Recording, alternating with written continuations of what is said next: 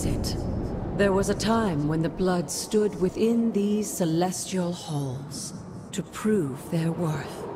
This particular arena belongs to a goddess who often favored Sarah, Ashtor. Sarah, caretaker, was here? Nothing ever comes easy, dear.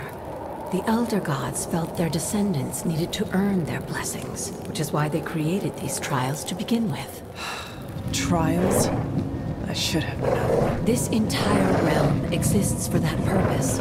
Trial by combat, with no chance of outside interference. And this is my challenge. Yes, but I may have found a loophole they never considered.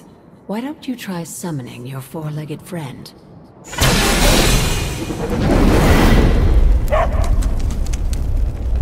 Charlie?